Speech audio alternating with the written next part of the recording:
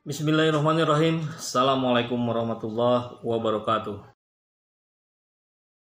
Hari ini kita dikejutkan dengan ditangkapnya Edi Prabowo, politisi dari Gerindra, tangan kanannya Prabowo Subianto, dan tentu ini menghentak jagat dunia maya di Indonesia kita hari ini.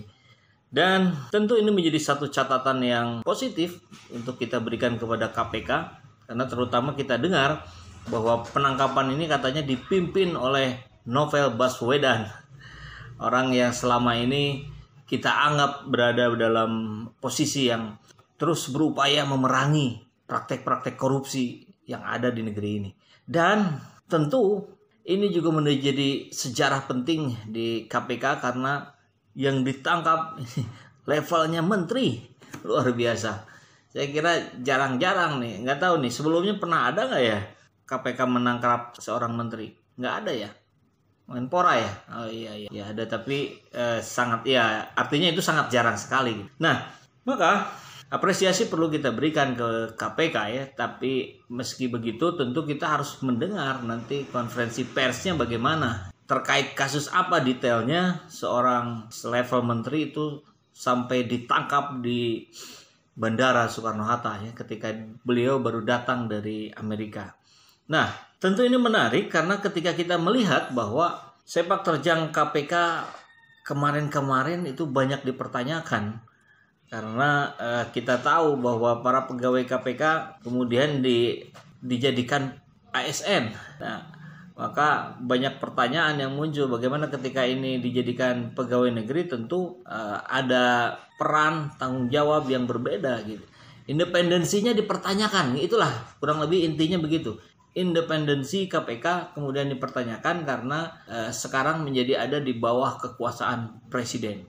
Kemudian netizen begitu ramai mengapresiasi kinerja dari KPK ini dan tentu eh, selain apresiasi biasa juga ya banyak kemudian pertanyaan-pertanyaan yang berkembang.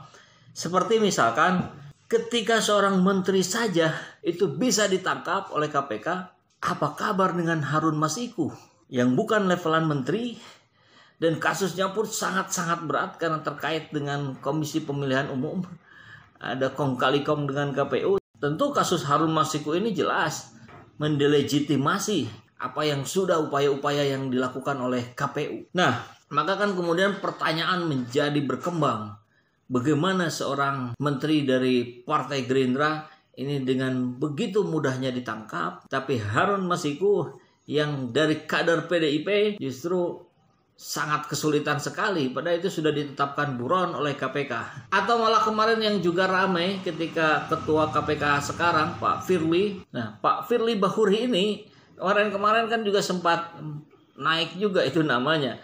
Bukan karena statement tentang pencegahan KPK atau penangkapan OTT Pak Firly Bahuri ini kemarin kan malah naik dengan mengomentari fotonya Anies Baswedan yang sedang membaca buku demokrasi die. Ya memang fenomenal juga ya apa yang dilakukan oleh Anies Baswedan. Bahkan sekedar foto di hari Minggu yang santai itu kemudian satu negara menjadi riuh. Termasuk ketua KPK ikut berkomentar bahwa buku itu bukan buku baru katanya. Saya sudah baca di tahun 2002 tapi kemudian ketahuan bahwa buku itu terbitnya baru tahun 2018. Jadi 2002 belum ditulis itu. Ya akhirnya netizen pun beramai-ramai mengingatkan Pak Firly ini. Bahkan kemudian sampai diklarifikasi langsung. Bahwa uh, ada permohonan maaf dari Pak Firly bahwa saya salah membaca, saya salah melihat gambar katanya. Karena yang beliau maksudkan itu ketika Pak Anies Baswedan berfoto juga dengan buku Why Nation Fail. Tapi ya kadung kemudian menjadi ramai di kalangan netizen ya. Tapi barangkali per hari ini Pak Firly akan mulai disibukkan kembali dengan peran yang sesungguhnya ya. Jadi Pak Firly tidak usah repot-repot lagi mengamati akunnya Pak Anies Baswedan ya. Fokus saja pada penanganan korupsi di KPK yang Bapak pimpin ya. Kembali ke kasus penangkapan dari Edi Prabowo ini, saya kira ini juga menarik. Ini juga sangat sangat menarik untuk kita simak dengan cermat agar kita ikut mengawal praktek-praktek korupsi di Indonesia ini kan harus dengan partisipasi aktif dari rakyat jelata macam kami-kami ini, macam kita-kita ini sehingga ada dorongan yang bisa terus digaungkan minimal di media sosial dan itu sudah sangat efektif. Nah, penangkapan Pak Edi Prabowo di bandara itu kan juga ternyata bukan beliau sendiri tapi dengan beberapa orang ya dengan istrinya kemudian dengan ajudannya masing-masing tapi juga di situ ada Ali Ngabalin. Ya, Ali Ngabalin ikut ditangkap beserta rombongan dengan uh, Pak Edi Prabowo itu.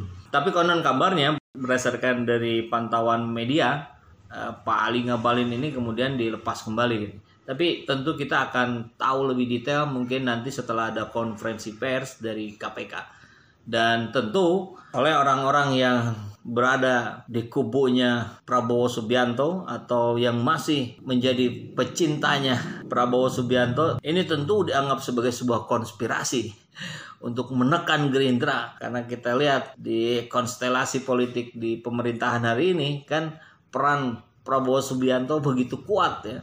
Bisa mempengaruhi kebijakan-kebijakannya presiden. Tentu itu tidak disukai oleh lawan politiknya. Dan mungkin salah satunya ini menurut versinya pendukung Prabowo atau Gerindra. Tapi tentu buat kita-kita sih yang rakyat jelata ya kita sih nggak ambil pusing lah dengan hal itu. Yang penting kalau memang benar gitu yang itu dilakukan tindak korupsi dilakukan oleh Pak Edi Prabowo ya kita tentu ingin ini diusut setuntas-tuntasnya sampai ujung. Siapa pun yang terlibat harus disikat habis. Bahkan termasuk Ali Ngabalin kalau memang ternyata diketahui nanti ada keterlibatan juga di situ. Maka langkah-langkah yang dilakukan oleh KPK tentu harus tidak pandang bulu harus adil. Kemudian ini pertanyaannya kembali ke yang tadi. Bagaimana ketika ini tidak pandang bulu? Tolong dijawab. Ke mana Harun Masiku? Apakah karena Harun Masiku punya kartu truf yang bisa membuka, membongkar keterlibatan para petinggi partai di negeri ini sehingga dia juga diamankan,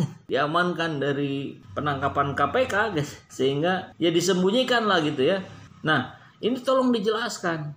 Pemerintah atau KPK ini harus harus clear mampu menjelaskan ke mana Harun Masiku gitu.